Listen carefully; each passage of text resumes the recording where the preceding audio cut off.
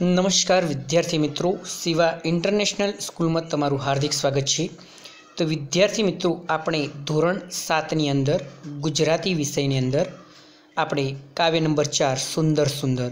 તો વિદ્યાર્થી મિત્રો, આપણે સુંદર સુંદર કાવ્યની અંદર, આપણે શબ્દ સમજૂતી જોઈ હતી, ત્યારબાદ વિદ્યાર્થી મિત્રો, કાવ્યનું સરસ મજાનું ગાન કર્યું હતું. એનિમેશન દ્વારા કાવ્ય જોયું, એટલે કે એનિમેશન દ્વારા પણ કાવ્યનું ગાન સમજ્યું હવે વિદ્યાર્થી મિત્રો, હવે ટેક્સ્ટ બુકની અંદર આપણે આ કાવ્યની સમજૂતી મેળવીશું.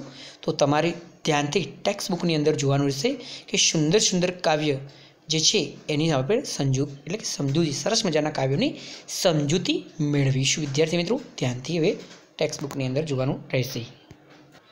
તો કાવ્ય નંબર ચાર, ધોરણ સાતની અંદર ગુજરાતી વિષયની અંદર કાવ્ય નંબર જુઓ વિદ્યાર્થી મિત્રો, ચાર. ટાઇટલ હતું સુંદર સુંદર. સુંદર એટલે વિદ્યાર્થી મિત્રો, રળિયામણું.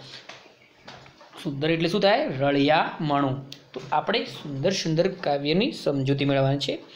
જેના લેખક છે ધર્મેન્દ્ર માસ્ટર. ધર્મેન્દ્ર માસ્ટરનું ઉપનામ છે મધુરમ. કે લેખકનું જે ઉપનામ છે મધુરમ છે, શું છે? મધુરમ. તો વિદ્યાર્થી મિત્રો, હવે આપણે જોઈએ આ કાવ્યની અંદર.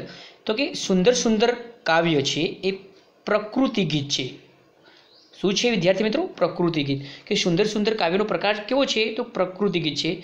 તો કે આ પ્રકૃતિ ગીતમાં કવિએ સૂરજ, ચાંદો, નદી, સરોવર, વન, ઉપવન વગેરેને સુંદર ગયા છે. કે આ કાવ્યની અંદર જે કુદરતના જે તત્વો છે, કુદરતના જે તત્વોની અંદર જે સૂરજ, ચાંદો, નદી, સરોવર, વન, ઉપવન, બગીચો, આ બધા કેવા ગયા છે? સુંદર ગયા છે.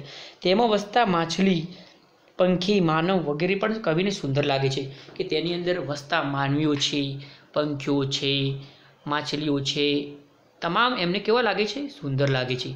પ્રભુએ બનાવેલી દરેક વસ્તુ જો સુંદર હોય, તો પ્રભુ પોતે કેવા સુંદર હશે એવો આપણને પ્રશ્ન થાય છે. કવિને કેવો પ્રશ્ન થાય છે કે પ્રભુએ બનાવેલી દરેક વસ્તુ જો સુંદર હોય, તો પ્રભુ કેવા સુંદર હશે એવો કવિના મનમાં એક પ્રશ્ન થાય છે. તો વિદ્યાર્થી મિત્રો, હવે આપણે કાવ્યની સમજૂતી મેળવીએ. તો જોઈએ અહીંયા જો વિદ્યાર્થી મિત્રો, પહેલી જ પંક્તિ છે કે સુંદર સુંદર? સૂરજ સુંદર, ચાંદો સૂરજ. કે સુંદર સુંદર, આ રળિયામણું છે? આ બધું રળિયામણું છે. સૂરજ સુંદર છે, ચાંદો પણ સૂરજ છે. સુંદર સરિતાની સરોવર. આ સૂરજ છે, આકાશની અંદર સરસ મજાનો ઉગી છે. એ પણ કેવો સુંદર છે? રાત્રે આકાશની અંદર, આભની અંદર, જ્યારે રાત્રે પૂનમનો ચાંદ ચમકતો હોય, એ પણ કેવો સુંદર હોય છે. સુંદર સરિતાની સરોવર, કે આ સરિતા છે આ નદી છે, નદી જેવું કેવી સુંદર છે. આ સરોવર, તળાવ પણ કેવું સુંદર છે.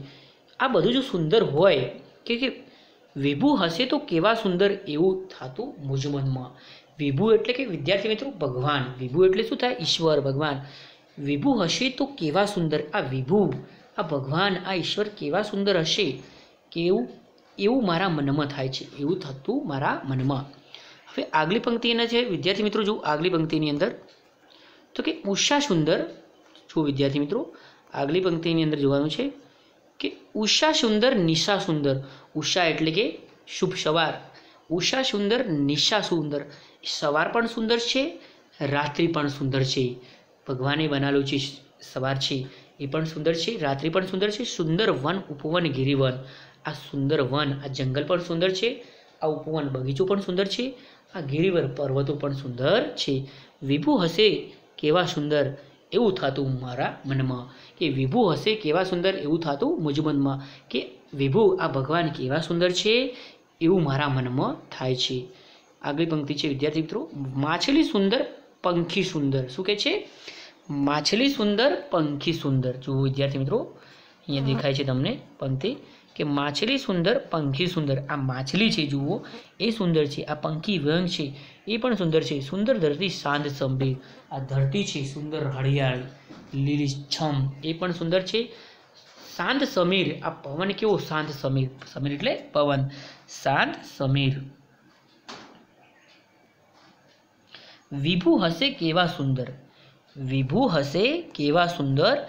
એવું થતું મુજ મનમાં, આ ભગવાન કેવા સુંદર હશે એવું મારા મનમાં થાય છે.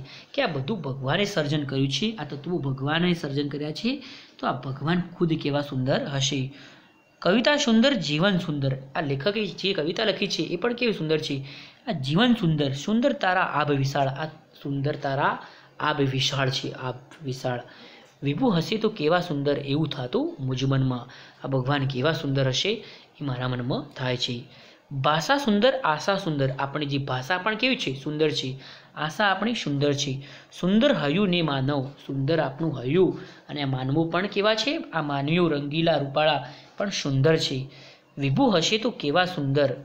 વિભુ હશે તો કેવા સુંદર? એવું થતું મુજમનમાં કે આ સૃષ્ટિની રચના કરનાર આ સૃષ્ટિના જે તમામ તત્વો છે, આ કુદરતના જે બનાવેલા તમામ તત્વો છે જો એ સુંદર હશે, તો ભગવાન કેવા સુંદર હશે એવું મારા મનમાં થાય છે. તો વિદ્યાર્થી મિત્રો, આપણે આ કવિતાની સમજૂતી મેળવી. હવે તો વિદ્યાર્થી મિત્રો, આપણે કાવ્ય નંબર ચાર એટલે સુંદર સુંદર કાવ્યની સરસ મજાના કાવ્ય પંક્તિઓની આપણે સમજૂતી મેળવી.